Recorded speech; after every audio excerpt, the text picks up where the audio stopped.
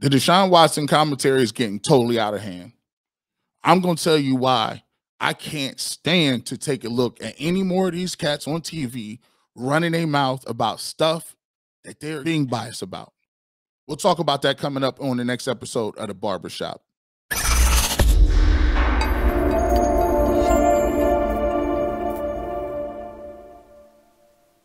So I, you know, uh, you, you're gonna notice a different tone with me right now. Usually I come on here, I'm level-headed, and, and um, you know, I come on here and present the facts, you know, do a little something and and try to shed some light on what's going on with the situation with Deshaun Watson, man. And I had two videos out, and I wasn't gonna even put another video out until uh the Deshaun Watson verdict comes down. But I'm gonna be honest with you, man. Um, I'm really starting to be pissed off. I'm really starting to, I, am really starting to have it up to here with this commentary. And and not only do I feel like I, I you know, I, I I should speak to it just to make sure that people understand the opposite side. It's gone so far that it's actually starting to make me angry. And the reason it's making me angry is that is that people is coming with these little subtle jabs, this this subtle the subtle little uh, uh, dog whistles that they're just throwing around, making it seem like, oh, we've never seen this before. And so I'm talking directly, and I want to get direct. I'm talking about Rich Eisen by name. Now, Rich, I'm a fan of Rich Eisen. I, I, am a fan of what he does, right? I like I like how he does his show. I like how he, his flow is, and, and generally speaking, I like what his commentary is. But he is in left field when it comes to this Deshaun Watson situation. And he's crossing a lot of lines right now. And the lines that he's crossing right now is here's the thing I, I don't play. I don't play let's let's attack a, one person's character, but yet and still somebody else, even though we know them or we might like them, you, you, you got roses and flowers and patting their backs. I'm not about to sit up here and let these dudes sit here and consistently tear down the character of black athletes because I'm gonna just call it what it is. It's systematic tearing down. Because if you got one allegation sitting here with Deshaun Watson, but yet and still you talk about Robert Kraft like he's a deity. You talk about this man like he, he's the second coming of God. You act like you he's above any reproach and well, I, I, mean, I know what you guys are doing. I, I know what you're saying, but you know how many people, you know how many people, African Americans have heard that same stupid line. Yeah, I know segregation is wrong, but yeah, I know Jim Crow is wrong, but yeah, I know you guys are, are, are, pulled over five five times as as other other cultures, other other races of people. I know that. I know your incarceration rates are three to four times higher than everybody else.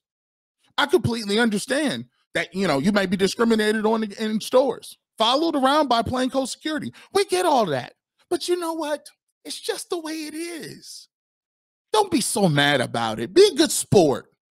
Let us tear you down, destroy your character, and then you know as long as you come back groveling and you prove it to me individually, because you got to prove it to each individual person. Just want to pause for a brief bit here and uh, give a, a, couple of cents about uh, what we're hearing from the Deshaun Watson um, disciplinary proceedings that's going on right now between the NFL and the Players Association and what's being reported, what's leaking out. I'm going to tell you what. We ain't got to prove nothing to you.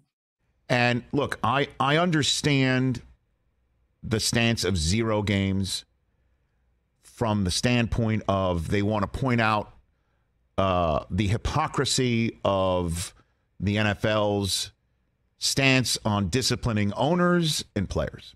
They want to do that. And it's time out for regular dudes, everyday citizens acting like you guilty if you don't please every single person that's out here saying you guilty. And hear his complete utter lack of ability to rationally explain himself. I don't got to prove to Rich Eisen. And when I say rationally, I mean for somebody who's, in my case, just very eager to hear something understandably exculpatory from him about his own behavior. And I haven't heard anything remotely close to that. In his heart to make him feel great about Deshaun Watson's decision? If this comes up with zero games, there will be such a major hue and cry, including from this seat. Zero games for Deshaun Watson's behavior. Because you're already biased anyway. And that if he gets zero games and gets to play all games and make $46 million, what a horrible look for everyone, including every other player in the association that I understand is doing its job. Take a look what you say again uh, with Robert Kraft. I, I, know that's kind of a heavy thing to say in the morning, kind of like how much for a blowjob. No, I didn't no. say it. I didn't say it. Look, I own the Patriots. How much for oral fun? No. Did you say oral fun? And I got something for you too. I got something for you. How much for a dry no. hump? Let's go back to crashing. I need a scandal. This has to go viral. Do you think Pete is aware? Please watch crashing. Don't stand on that soapbox acting like you holier art thou. And you listen, it's a thing called the internet, my man. Pete is unaware of my other job, right? He is unaware. He is Would you unaware. care to tell Pete what my other uh, job is? So, uh, you, are you aware of the NFL Network, Pete? You don't think anything that you can and will say will not show up on the internet? It's too pricey? no. Oh, because of now you're bringing it up. I understand because he went to a lady of the morning. Why do we do we care? People care, right? You know what? You guys don't care. Uh, I don't care. Here's my hot take. Go yes. to Nevada. But before we get to that, let me give you the context of what we're talking about and what got me so hot. Let's go to the tape. That's the hot take. The guy has a billion dollars. Prostitution is legal in Nevada. He, he didn't want to be groggy for his morning session of paid intercourse. Take the flight to where it's legal, get a flyer on the street, go, oh, is Bubbles available? and then go to a nice suite. This guy, if he gets zero games, They'll upgrade you. You own the Patriots. Have some legal sex work done to you. Then fly to your important ball match. You know what? After a very important ball match. it's it's a, it's not a good look for anybody. All you got to do is just read these depositions and read the details. The state attorney here in Palm Beach County upped the charges against Robert Kraft and the 24 other men swept up in this investigation to a first degree misdemeanor. If convicted on those charges, it carries a harsher penalty, including up to 100 hours of classes learning about the evils of human and sex trafficking, as well as up to a year in jail in the players, I know you, if he if he don't get zero games, it also looks bad on you. But just think of the ramifications if what comes out of all of this is Watson loses no games this year and makes all of his $46 million. You know how dumb that sounds? You know how stupid that sounds? So I just wanted to get that off my chest here. Well, I understand that you got to protect him by law, or I get it, but it's still a bad look on you. As this process is going on. And again, I understand everybody's stances and what they're trying to do for future disciplinary hearings and also point out a hypocrisy. Why do we do we care? People care, right? You know what? You guys don't care. Uh, I don't care. Here's my hot take. Go yes. to Nevada. This is that type of condescending rhetoric that you encounter in everyday life in this country. But I, I, I think Watson is the wrong vessel to point out a hypocritical moment and also to try and stake a claim on this method of discipline. What a huge mistake that would be if it comes out with a big fat zero. You want him to be so guilty, so bad, that even the possibility of zero games, even the possibility of zero games, doesn't hurt your heart. You can't even think straight. Oh my God, zero games. It's it's over. You know how many times uh, people that heard that type of language, that type of rhetoric?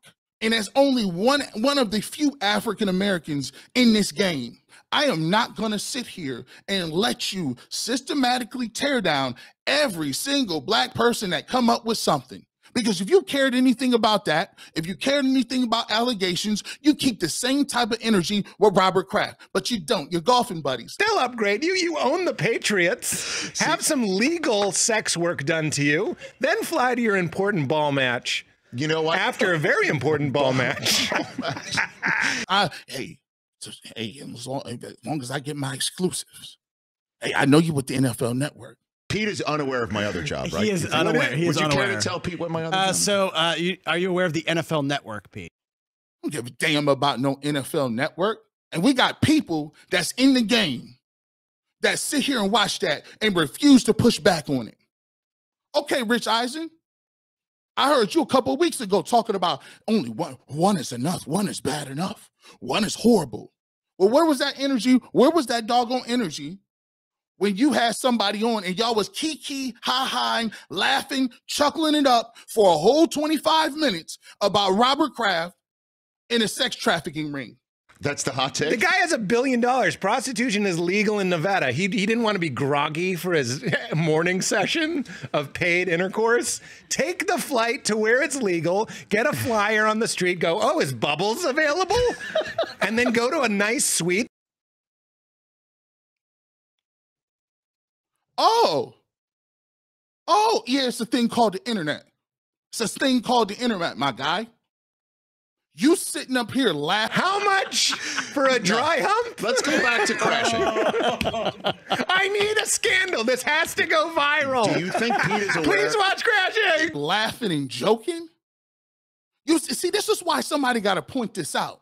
Because these dudes be up here as they're frauds. That fraudulent behavior is so corny. You sitting up here talking, sitting on your, your, your soapbox trying to play the moral high ground when you was just up here laughing about people that are victims. You just sat there and laughed for a whole 25 minutes. Ha ha ha. See, yeah, when you're when you're owner, you ain't worried about that. Why do we, do we care? People care, right? You know what? You guys don't care. Uh, I don't care. Here's my hot take. Go to Nevada. You know, right? Right? We nobody about to sit up here and let you get that off. Every single day, we turn on that same television. Every single day, you turn it on. Uh, my point was then and is now, and sometimes, whether it's a tweet like this or what other people are saying, I'm not one of those guys that says, hey, if you don't like it, go to another country. I think that's stupid. And it's the same thing, but a different person. But just because you don't like the path that our country is on, just because you want to disrespect our country and still live and function and pay taxes in our country, you're allowed to say these things. That's actually what people have fought for for a couple of hundred years, right? It's the same stuff, but a different situation. So he doesn't have to leave the country. I just think he's woefully misguided. And yes, I do think that the $61 million has a lot to do with it. Here's why. We live in a country where, whether it's athletics or now in politics, we have improved and continue to improve. In the business world as well. You, you can't be blind to it. You just can't. Well, Colin Kaepernick, I, hey, hey, if you only if he only wasn't gonna kneel, we say we'd accept him. If the idea that there's black oppression, then how, how in the heck have we gotten to this place where there are more black coaches than there used to be? There are more black quarterbacks. The MVP of the NFL is a black quarterback, something that 25, 30 years ago, there was a a, a, an amount of wisdom, maybe not a prevailing wisdom, but amount of wisdom that could a black man be a quarterback with an intricate NFL system. That was actually uttered by people 25, 30, 35, 40 years ago. You can't even kneel. You can't do peaceful protests. Right? Don't tell me. Don't tell me it boils down to this. Uh, we have a biracial president with a black wife, two black attorney generals, a black secretary of the Homeland Security, along with a black national secretary advisor. Uh, It doesn't mean that the overwhelming majority of congressmen and women aren't white. They are.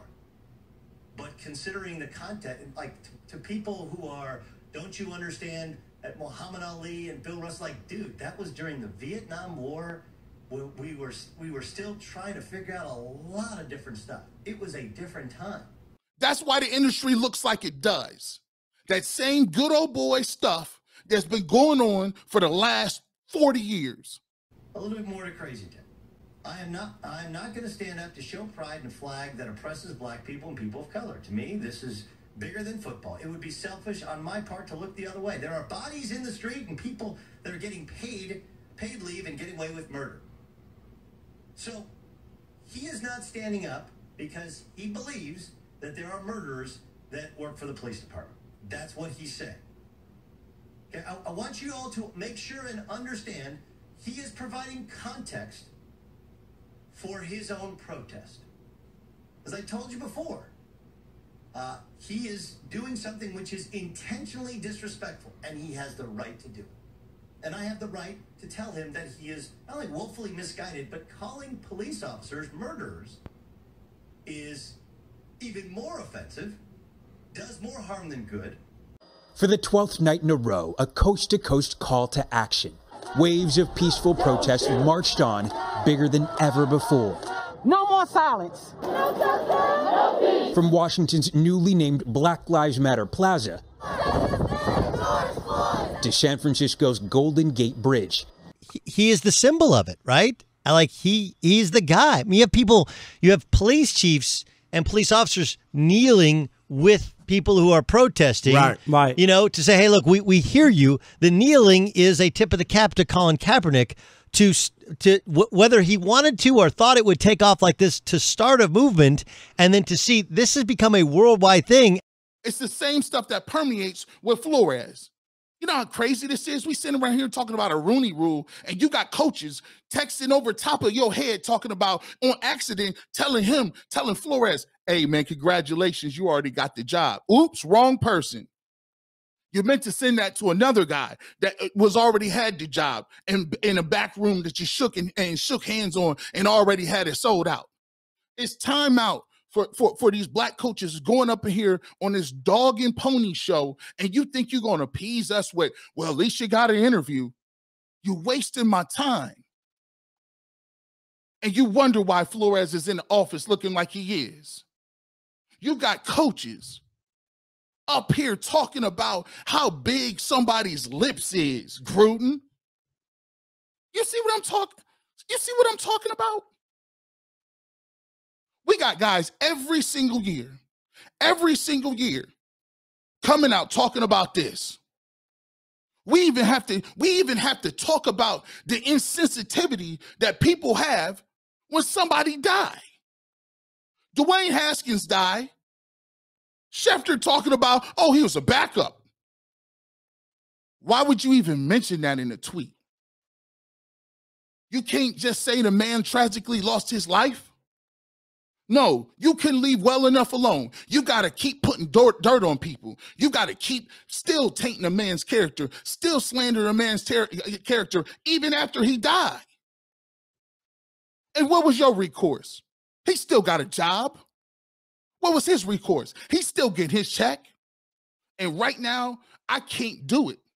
I can't sit back and listen and watch this crap while people just sitting here just regurgitating these low-key bigoted conversations. And this might be a little too real for some some people. This might be a little over your head a little bit, but I don't care. I ain't talking to you. I'm talking to the people I need to talk to. This is unacceptable. These people on this TV every single day, and they got the nerve to tell you this. Well, I know it's I know it's kind of yeah, I, know. Eh, I know you got a rough deal, but hey, what are you going to do about it? And they say that stuff because people like me that get into the game, and it's only a couple of us, you got a you got a decision to make. Either you want to ruffle feathers or you want to tell the truth. And you know if you tell the truth, you're gonna ruffle a lot of feathers. I, after I post this, I always liked you, G. Bush, but I, I, mean, you're just getting off in the deep end about the race stuff. I think you're just, you're just, listen, frankly, I don't give a damn. I don't care. I don't. Because at the end of the day, if somebody told me and they was talking about Chinese people, Japanese people, Asian people, I call right, right, wrong, wrong. At the end of the day, you cannot sit up here and tell me that you care about a shield, that you care about allegations, but you have the same exact case. The only thing that's different is a couple more million dollars in the in the color of their skin. Let's keep it a hundred And this is why I tell you about diversity. It matters. It's time out for, for, for you going in sports. It's time out that, that you, you don't hear no women on the radio. Zero. You don't see no women doing nothing. No shows, no nothing. It just ain't minorities. We talk about women too. It's time out that, that you got the same personality, the same background, the same old stale situation that they talk about every single day. And that's what we keep running against, running the same old hits, running the same old hits, same old resets, same old scripts. I'm sorry. I can't do it. I can't do it. I'm on Ultimate Cleveland Sports Show, and if you check my resume, I keep the same energy over there. I'm the same when you see me in public. Because let me tell you this you've been here this long, you'll understand this. If the NFL, now listen to what I'm saying to you. If the NFL would have suspended Robert Kraft, Daniel Snyder, or Jerry Jones when they had an opportunity to, I wouldn't be sitting here saying nothing about Deshaun Watson. You know why? Because all you want is equal treatment under the law.